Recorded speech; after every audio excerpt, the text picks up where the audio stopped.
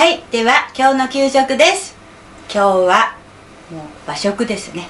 和食素晴らしい。ねはい白いご飯とそれからすまし汁です。きれいに澄んでますよ。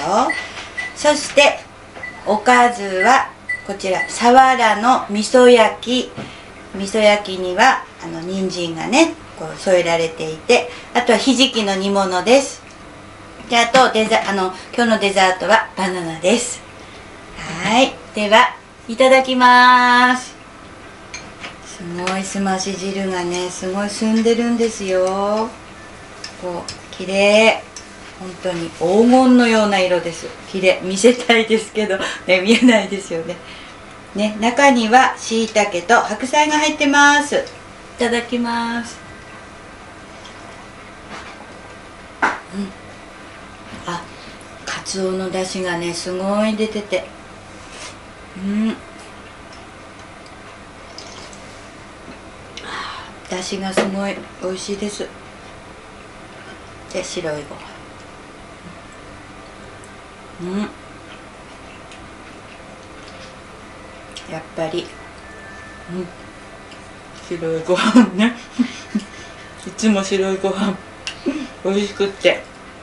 ご飯だけで食べちゃう。もう本当に茨城のお米ね毎回今と言ってますよね。美味しいんですよ皆さん茨城の米。はい。ではさわらの味噌焼きです。ね味噌焼きだからね。どんなお味かな。香ばしく。ね。はい。すごいこれ。肉厚でしょうほら。で骨がないからもうすぐ食べられちゃうんですうん。うん。あ美味しい。この上にかかってる味噌焼きの味噌がすごい美味しいです。香ばしくて。あのピーナッツ味噌って皆さん知ってますか？あのピーナッツ味噌のあの味噌の味。美味しい。これこれをご飯にかけてつけてね食べても全然ご飯進んじゃう。うん。うん。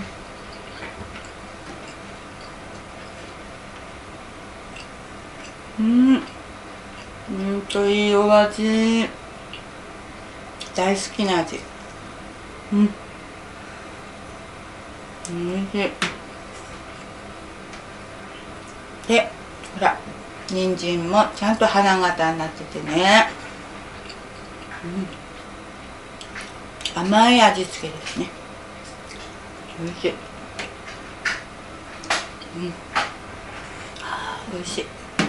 じゃこのひじきの煮物ですね。ひじきの煮物にはさつま揚げとか人参とかあとは大豆も入ってますねで枝豆。がやっぱり。うん。大豆がふっくらしてて。うん。柔らかくて。おいしい。さつま揚げも入って。うん。やっぱりあの子供たちに食べやすいように甘めの味付けですね。私も甘めの味付け大好きなんです。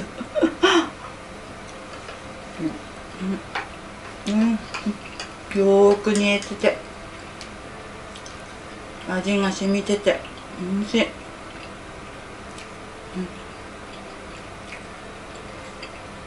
ん、あのこれ枝豆とか大豆入ってるん。ですけどあのやっぱり小さい保育部の子たちにはこういうお豆やっぱりねちょっと怖いので入ってないです。うん。うん。おいしい。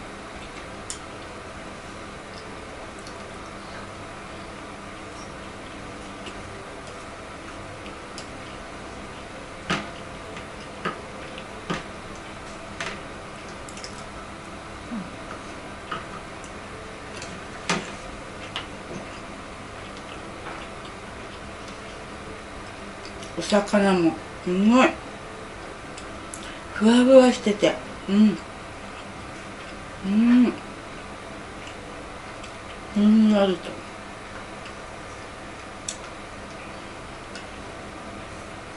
うん美味しいですね。お魚は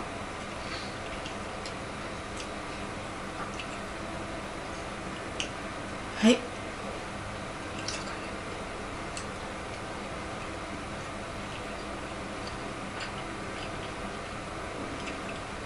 うんほんとこの味噌の味がねちょうどいい味です。うん。香ばしくて。おいしい。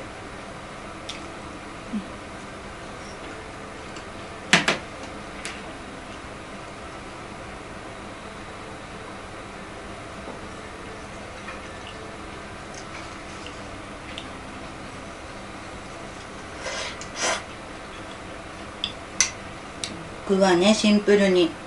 白菜と椎茸だけなんですけどほんといろんな出汁が出ててすごいかつおの風味がねすごいです。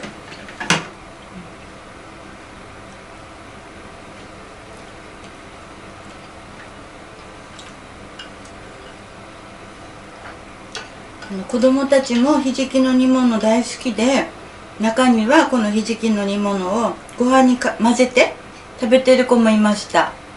うん。ね。栄養がねあるから本当に。もりもり食べてほしいですね。うん。美味しい。中に入ってる大豆もふっくらと柔らかくて食べやすくなってます。美味しい。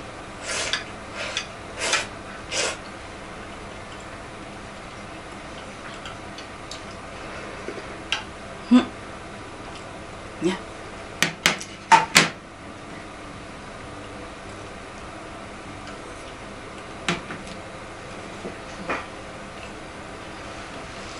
本当にあの和食ってねこう栄養のバランスもいいし見た目もいいし。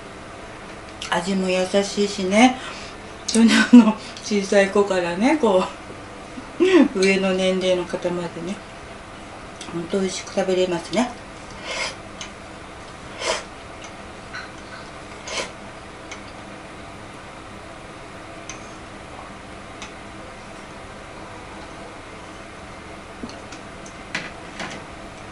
はい。じゃあすまし汁もご飯もおかずも完食でデザートのバナナです。ほら今日のバナナもすごいこう短いけど太くてね美味しそう。いただきますよ。はい。最近私はなんかみかん缶とオレンジが続いてましたが久々のバナナです。いきます。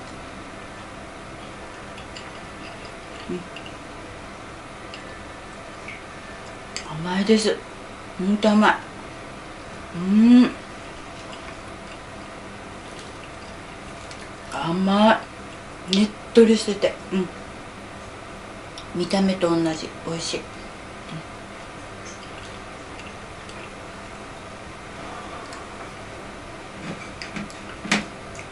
はい。最後。早いでしょ？うん